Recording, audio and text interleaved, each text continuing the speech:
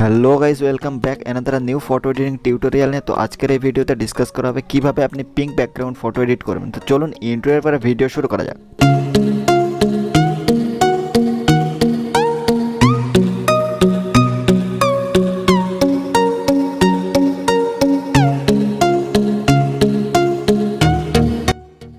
প্রথমেই আপনি আপনার মডেলটাকে পিকসার্ট অ্যাপ্লিকেশনে ওপেন করবেন। এরপরে টুলস অপশানে ক্লিক করবেন এবং অ্যাডজাস্ট অপশানে ক্লিক করবেন। তো অ্যাডজাস্ট অপশানে ক্লিক করে আপনি নেক্সট চলে যাবেন সরাসরি হিউতে হিউতে ক্লিক করে আপনি জাস্ট হিউটাকে কমিয়ে পিঙ্কের আশেপাশে কালারে এসে রেখে দেবেন।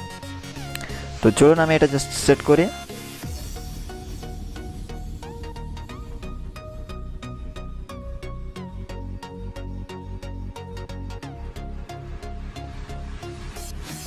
মাইনাস হান্ড্রেড অ্যান্ড ফর্টি করে দিলে মোটামুটি এটা পিঙ্কের আশেপাশে চলে আসবে। তো এরপরে আপনি জাস্ট ব্রাশ অপশানে ক্লিক করেন। ব্রাশ অপশানে ক্লিক করে আপনি এখান থেকে বেছে নেবেন ইরেজারটা ইরেজারটা বেছে নিয়ে আপনি জাস্ট আপনার মডেলটাকে জাস্ট সিম্পলি ইরেজ করে দেবেন। তো তার আগে এটার হার্ডনেস অপেসিটি সাইজ অবশ্যই সেট করে নেবেন।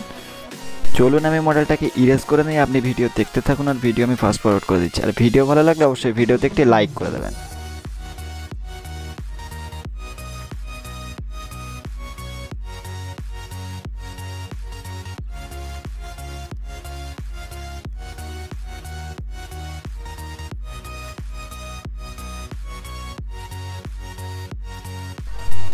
সাবধানে আপনি ঠিকঠাক করে ইরেজ করে নেবেন এবং ইরেজ করা কমপ্লিট হয়ে গেলে আপনি উপরে রাইট সাইড টিক করে দেবেন।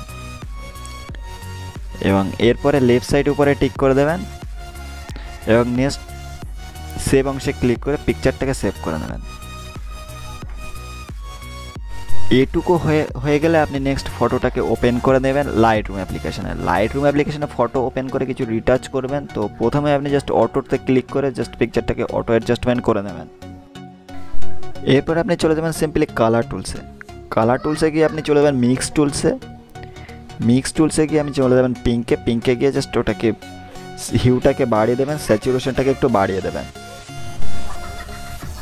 এরপর আপনি নেক্সট অরেঞ্জে ক্লিক করবেন অরেঞ্জে ক্লিক করে হিউটাকে একটু বাড়িয়ে স্যাচুরেশনটাকে একটু কমিয়ে লোমিনেশনসটাকে একটু বাড়িয়ে দেবেন।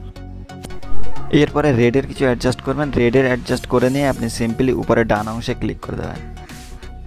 নেক্সট এফেক্ট টুলসে যাবেন। এফেক্ট টুলসে গিয়ে কিছু অ্যাডজাস্ট করবেন। তো চলুন আমি যে যে অ্যাডজাস্টগুলো করছি আপনিও সেম সেমগুলো করবেন। আপনি জাস্ট দেখতে থাকুন, আমি জাস্ট অ্যাডজাস্টগুলো করে নিচ্ছি।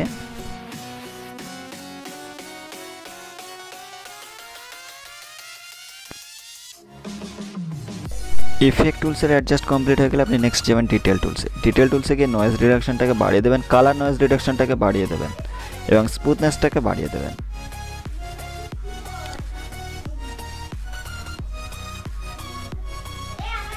তো এরপরে আপনি যে সিম্পলি শেয়ার অংশে ক্লিক করবেন শেয়ার অংশে ক্লিক করে সেভ আর ডিভাইসে ক্লিক করে পিকচারটাকে গ্যালারিতে সেভ করে দেবেন। তো এখানে আপনার এক্সপোর্টিং হতে শুরু হয়ে যাবে, আপনি জাস্ট ওকেতে ক্লিক করে দেবেন। তো পিকচার আপনার গ্যালারিতে সেভ হয়ে যাবে। এই ভিডিও ভালো লাগলে ভিডিওতে একটি লাইক করে দেবেন। চ্যানেলে যদি আপনি নতুন হয়ে থাকেন চ্যানেলটাকে সাবস্ক্রাইব করে দেবেন। বন্ধুদের সঙ্গে ভিডিওটি শেয়ার করে দেবেন। Thanks for watching this video